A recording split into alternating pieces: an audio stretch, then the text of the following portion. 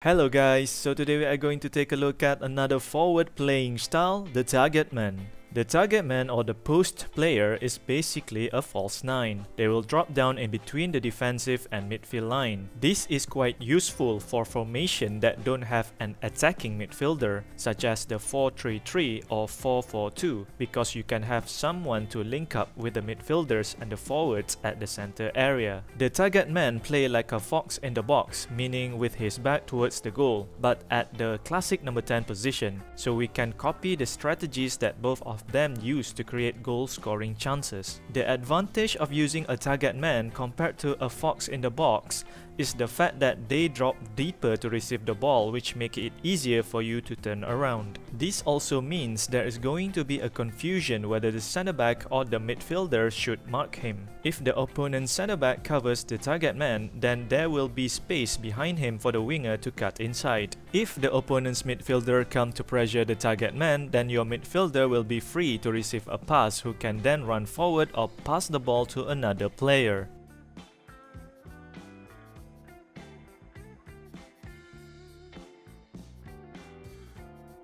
The first attack is to cross the ball. Target men are usually tall and good in the air, so be sure to cross the ball from time to time.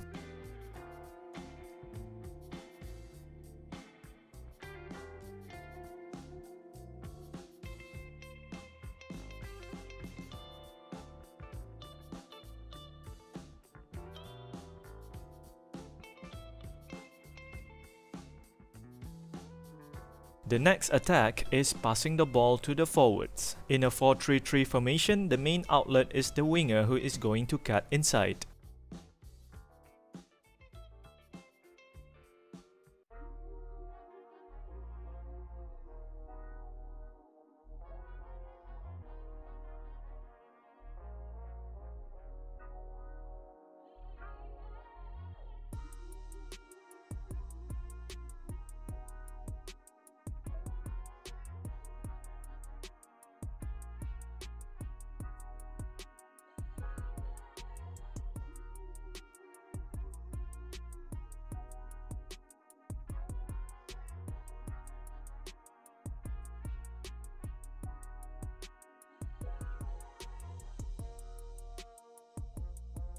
In a 4-4-2 formation, you can involve the wide midfielder by playing on one side to bring the other wide midfielder closer to the penalty box.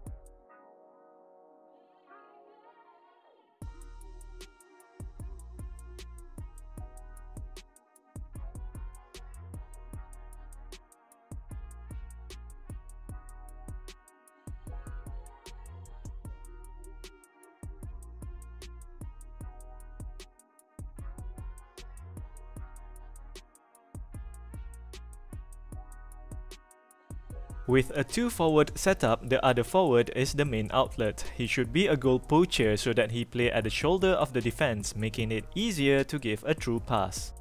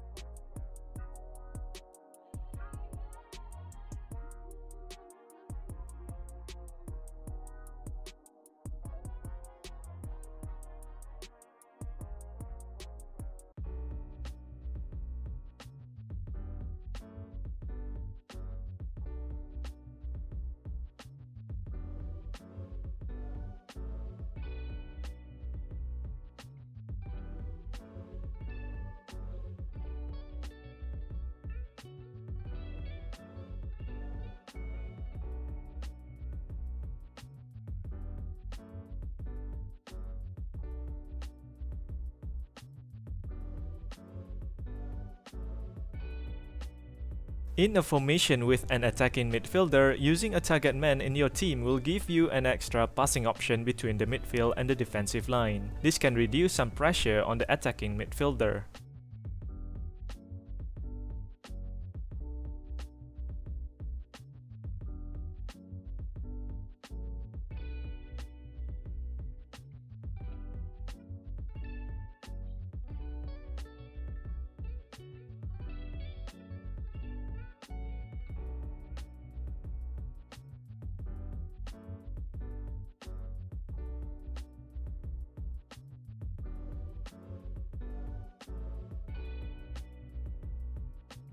Alright, now let's see some examples where the target man passed the ball to the midfielder.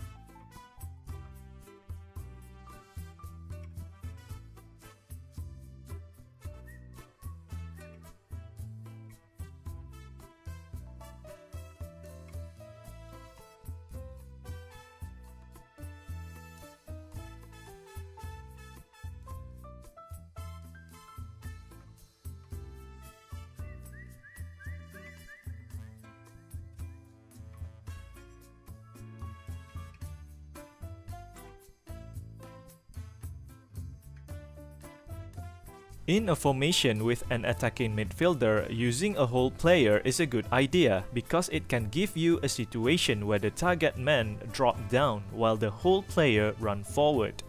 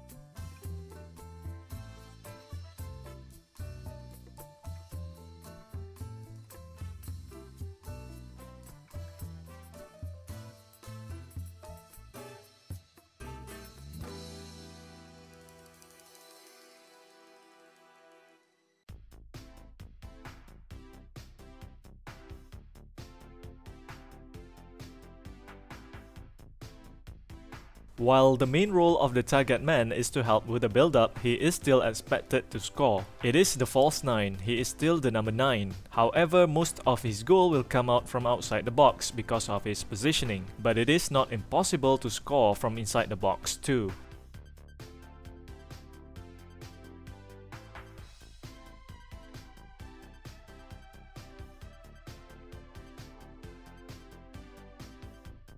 Alright, that's it for today's video. I hope you guys had a good time watching this. I hope you guys can learn something from this. If you find this video useful, please give it a like. Subscribe to get updated on more future content and future tutorial. If you have any question, feel free to ask them in the comment section. And with that, I'll see you guys in the next one.